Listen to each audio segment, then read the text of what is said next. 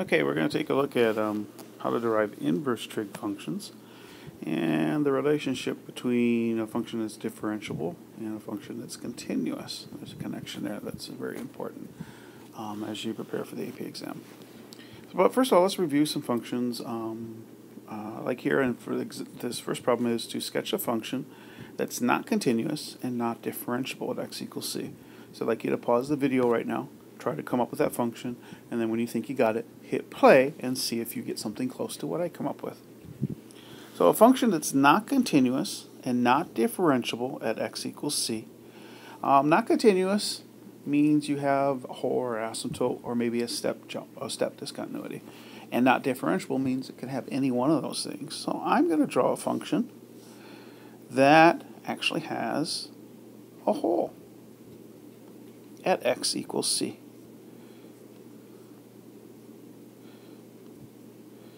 Okay, and so that would be a function that's not continuous, nor is it differentiable.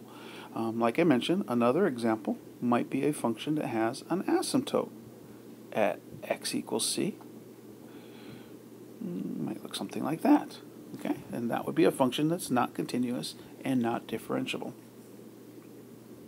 So now I'm going to ask you to graph a function that's not differentiable, but continuous at x equals c.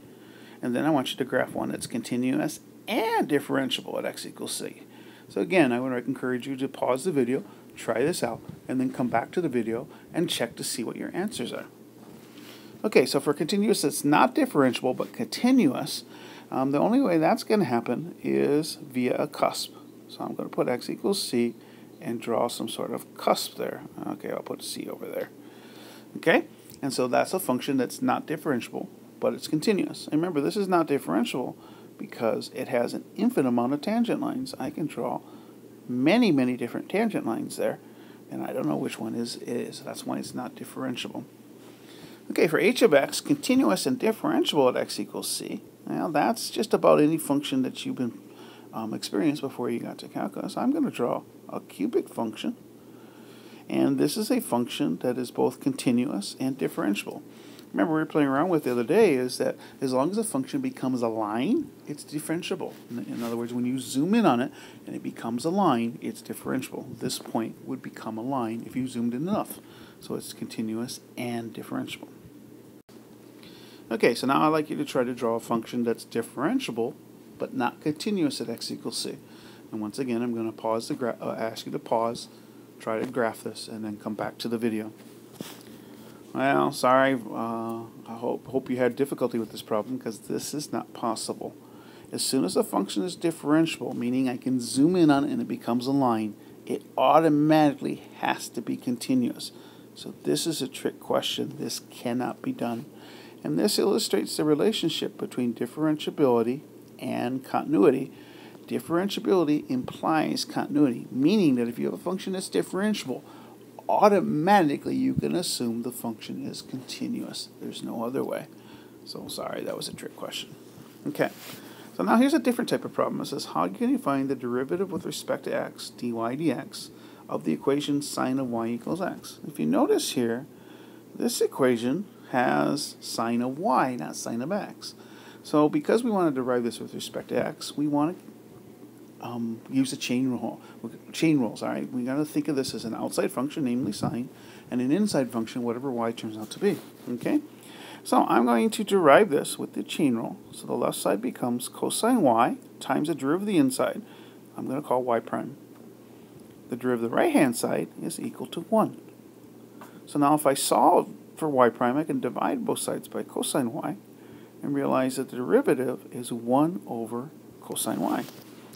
Problem is, this isn't an equation that's in terms of x. If you notice, the equation is terms of y.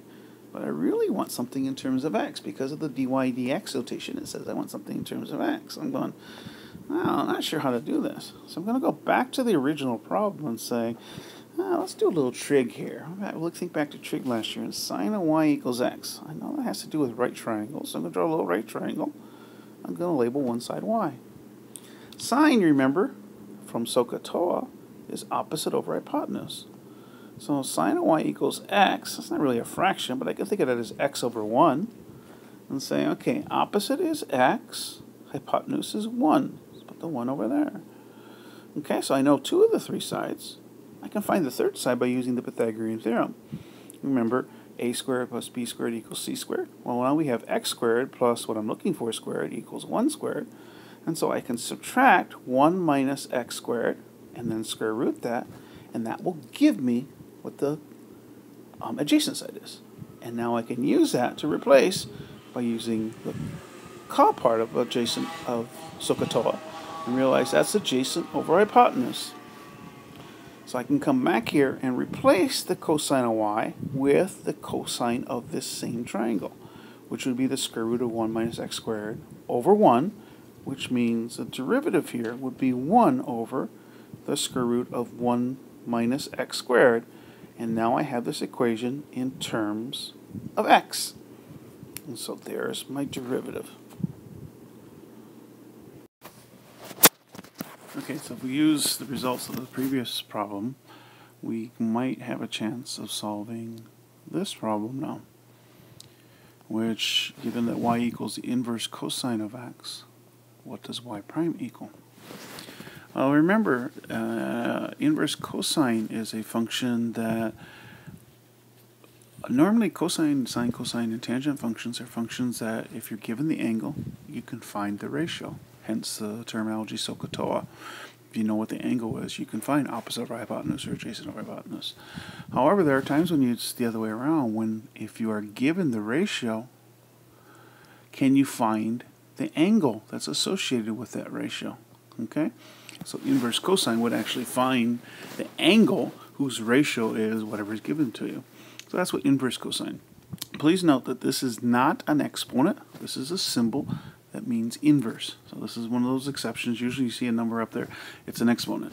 But when it's a negative 1, it is assumed that this is a symbol. So this is a function. And you can actually find this button on your calculator. Okay, so y equals inverse cosine of x. Well, if you look at this function, you realize, well, this is not something that we're real familiar with.